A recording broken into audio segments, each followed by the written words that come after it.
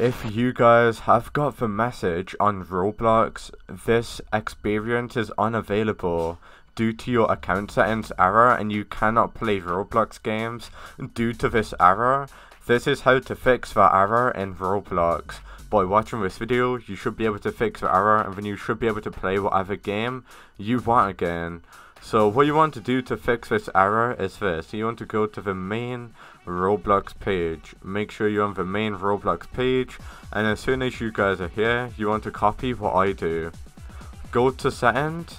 And then you want to click the settings button. As soon as you do that, you will get brought to this page. First things first, what you want to go ahead and do guys to fix this, there's multiple ways, well there's multiple reasons why you got this message. If you do go to privacy, disable account restrictions, very important that you do that.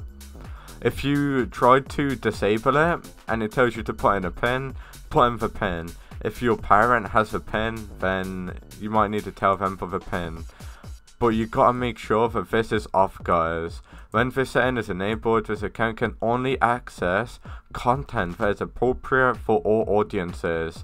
The reason why you can't join the game you're trying to join is because of this right here. That is one of the reasons. We've got multiple reasons for. So if you got this message turned off and it's still not working, what you want to do is go to parental controls.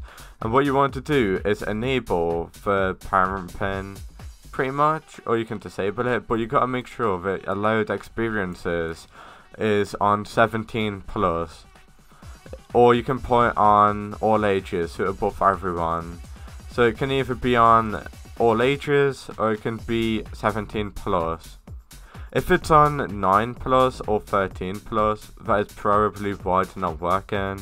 So in order to fix this error message guys, two things that you need to do is disable that and you also want to go ahead and make sure that this is on 17 plus or or all ages. So make sure you got that and as soon as you do that you should be able to play the Roblox game you're trying to join. So hopefully that this video helped you guys out. If it did make sure if you like and subscribe to my channel and peace out